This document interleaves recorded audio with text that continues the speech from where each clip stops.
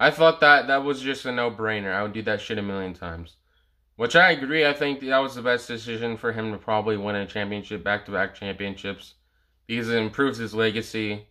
He's probably around top 15 player of all time, somewhere around there. And before that, he probably wasn't because he didn't have any championships. So I think that was probably the best option for his career. And to stay OKC would be kind of wasting his career, really. Unless they added someone else, which would maybe change it, but who knows. But if James Harden would have been there, it probably would have been different. He would probably stayed longer, I'm guessing. And maybe Russell Westbrook would have left. Who knows what would happen at that point. At full strength, nobody can beat us. I'm just going to leave that there. This is James Harden time about if the Nets are full strength, that no one can beat them. Which you think so? I don't know. I feel like yeah, they're probably at full strength. It'd be very hard to beat them, but I don't think they're really unbeatable. It's them and the Lakers. You can just go back and forth on who you want to win. But obviously, he's gonna say that at full strength, no one can beat them because he's on the team. But do you think he's gonna win the East this year? Do you think they're gonna win the Eastern Conference Championship or no?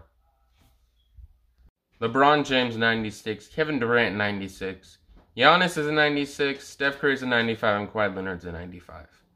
LeBron sent out a tweet saying Kevin Durant should be a 90, 99 and chose it's Steph Curry, but I think if I was him, I'd probably send out a tweet and Giannis should be a 99 too. I think LeBron should probably be a 99 as well, but I think 2K probably can't really do the 99 club thing because that's more of a Madden type thing. They probably have copyright over that, so that's probably why they didn't do a 99 for all these people. And do you think LeBron deserves it? Because a lot of people are saying no. I think he does. I think he's still playing an elite level this stage in his career. I think he definitely deserves to be a 96.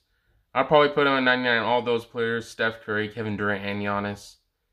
And maybe Steph Curry is probably going to be the best shooter in this year's game, too.